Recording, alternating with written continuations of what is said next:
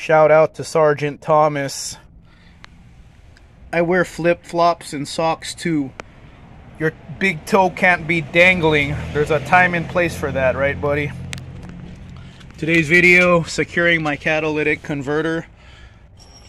I'm using this cable from Home Depot, $20 for like 25 feet, three and a half inch exhaust clamps, and this four inch exhaust clamp.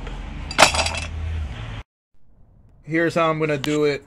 So I have this hooked on to the hangers coming down the exhaust and then I come down like this and then put the clamp over this and this cable right here. I'll, I'll need the 4 inch clamp for this first part. 25 feet is a lot of cable so this is wrapped around my entire exhaust but I mainly wanted to wrap this around my catalytic converter. I should have got nothing but four inch clamps. I got three and a halfs. This is my second time doing this because I bought a non-California compliant converter so I failed. That's a whole different video.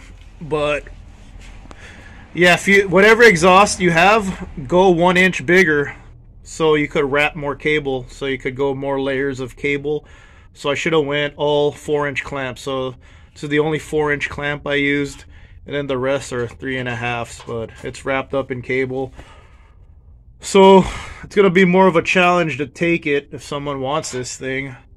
Hopefully this is enough of a deterrent since it's going to take effort now to take it. So this is this cable from Home Depot, 25 feet. I believe it was about $30. The clamps were $5 each. 30, 35, 40, 45, 50. $50. It's better than nothing. Because it only takes a couple seconds. Now they're going to have to saw through cable if they want my converter. Hopefully this helps you guys out. Feel free to leave more suggestions in the comments how to make this better. And if you guys leave me good comments, I'll I might take your suggestions. I'll probably put more clamps, so definitely get another 4-inch clamp just to have the whole pipe covered. And maybe, um, maybe get this welded. But man, that's to take, uh, it's to be hard to take it off if I ever need to take this off. So I'll figure something out. Let me know in the comments what you guys would do to improve this system.